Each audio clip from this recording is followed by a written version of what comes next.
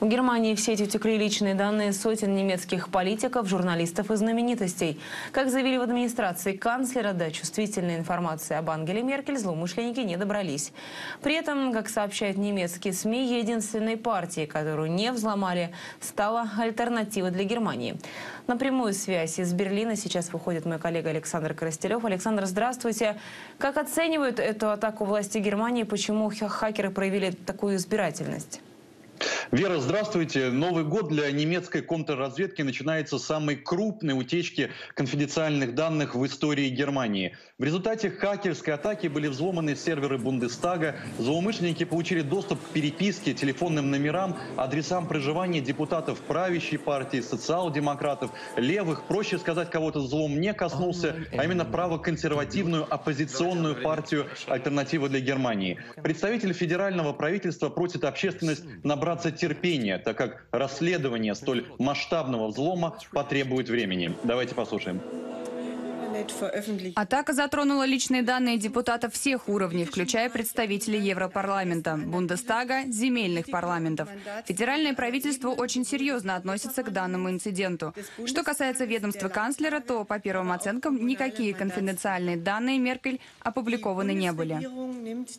СМИ со ссылкой на источники в правоохранительных органах сообщают, что мобильный телефон канцлера все-таки был подвержен атаке. Для Ангелы Меркель это не впервые ее сотовый в прошлом уже становился объектом прослушки американской спецслужбы.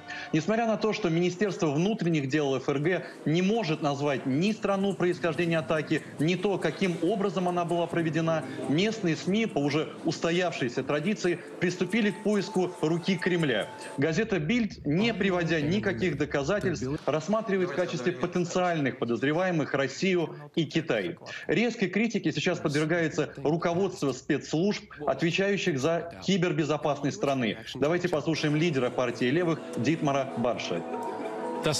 Очевидно, что у нас пытаются создать атмосферу страха и неуверенности. Я считаю, что ответственные службы должны принять соответствующие меры.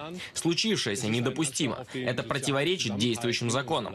Я ожидаю масштабного расследования спецслужб, которые, очевидно, со своей задачей не справились. В Германии сейчас спекулируют на тему того, что за хакерской атакой могли стоять представители праворадикальных групп, недовольных миграционной политикой Ангелы Меркель. Взлом компьютеров высоковоставленных политиков и ведущих журналистов мог стать ответом на взрыв офиса офиса партии «Альтернатива для Германии» в Саксонии. Также на прошлой неделе властям баварского города Амберг потребовалось два с половиной часа, чтобы задержать пьяных беженцев, избивающих местное население. Сейчас улицы Амберга патрулируют народные дружины, в то время как киберотряды, вероятно, своей хакерской атакой дали недвусмысленно понять, как в правых кругах оценивают работу правительства. Вера? Спасибо. На прямой связи из Берлина был мой коллега Александр Коростелев.